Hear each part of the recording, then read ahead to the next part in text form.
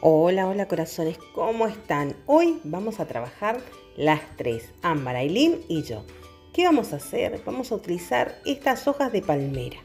¿Quién de ustedes no hizo este trabajo? Bueno, yo también quería hacer con las nenas este elefante y nuestra versión. ¿Sí? Lo primero que vamos a hacer es buscar en Pinterest la imagen de un elefante y les van a salir así. Ustedes elijan el que más les guste y vamos a tratar de que entre, ¿vieron que se ve acá eh, la cabeza y la trompa todas juntas? Bueno, yo con una tiza lo que estoy haciendo es tratando de ubicar en esta palmera, que no todas son iguales, eh, ubicando la imagen. ¿Ven? Voy a colocar en un lado y dibujo del otro. ¿Por qué? Porque vamos a hacer tres elefantes. Ámbar, Aileen y yo vamos a hacer cada una nuestra versión. Bueno, una vez que dibujo todo el contorno, más o menos ubico los ojos y demás, lo que vamos a hacer es darle una mano de un color claro. En este caso estamos utilizando eh, eh, pintura latiza, ¿sí? en un color natural. Ustedes elijan si tienen blanco, le pintan blanco, si tienen acrílico, trabajan con acrílico. A mí me gusta trabajar con la pintura a la tiza porque es más cubritiva. Le doy solo una manito, es solamente para ubicar, acá las nenas están, están pintando ellas, cada uno su elefante. Una vez que dibujé todo el contorno, todo, miren, ya pintaron todo. Genial. Este es el mío, acá vuelvo a colocar mi imagen y voy a ir ubicando los ojos, la trompa, las líneas, las arruguitas de la trompa, ¿sí? Ustedes vayan dibujando libremente, esto es solamente una guía. No se preocupen si no sale igual, la idea es divertirse, ¿sí? Como le digo a mis hijas, no importa si no sale el elefante perfecto, eh, hay que agarrar y crear. Cada trabajo de, cada persona es individual, ¿sí? es una obra de arte, es único. Entonces nosotros vamos a dibujar cada uno nuestro único elefante en el mundo. Miren, aquí ya hice todo, todas las arruguitas. Voy a ir ubicando más o menos como para tener una idea.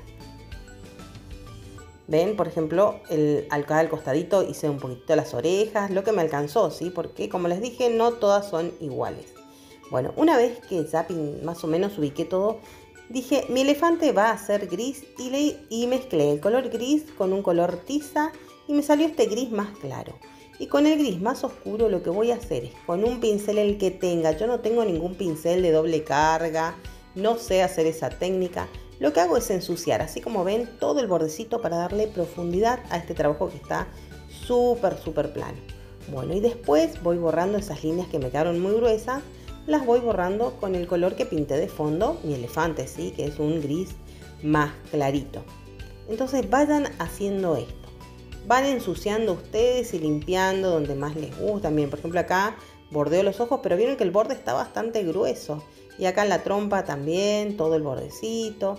Eh, con el pincel voy ensuciando. Traten de trabajar como en húmedo. Y con el otro pincel, que es el color base, voy tratando de ir esfumando esas líneas que marqué primeramente muy gruesas.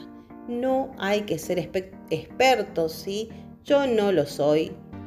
Voy haciendo mi versión de mi elefante.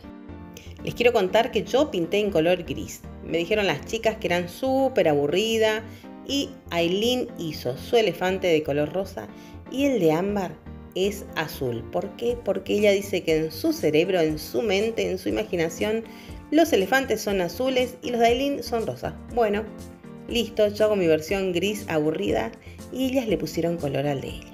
Ven, voy a ir pintando así, dándole sombras y luces y vieron que de repente ven marcas muy, muy, muy lineales, digamos, que se ven y después voy con el pincel esfumando todas esas líneas.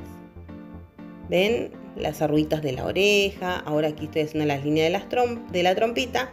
Que primero lo marco en gris oscuro.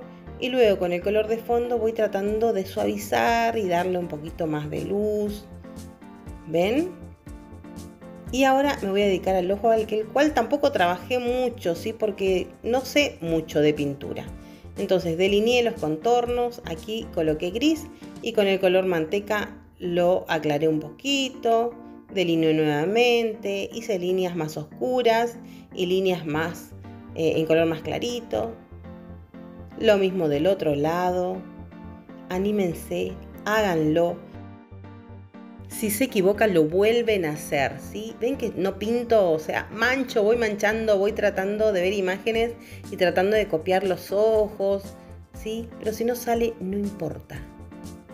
Esta es la parte divertida, ¿sí? En donde me puedo equivocar y volver a hacer, y si no, eh, comenzamos de vuelta. Miren, ya pinté la partecita negra del ojo, le puse dos puntitos para la luz y miren, de lejos parece un elefante, chicas, digan la verdad.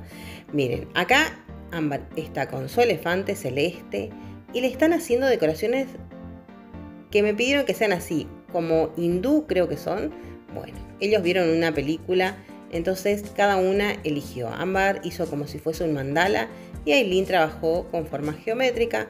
Mi elefante aburridamente le hice como una tiara en puntitos porque no sé muy bien qué hacer, la verdad. Estoy como con los colores apagados, evidentemente. Y ellos le pusieron todo, todo el color, así que espero que hagan elefantes de muchos, muchos colores. Miren qué lindo. Van delineando ellas y fueron trabajando. Con ámbar tengo que trabajar un poquito más porque es más chica y bueno.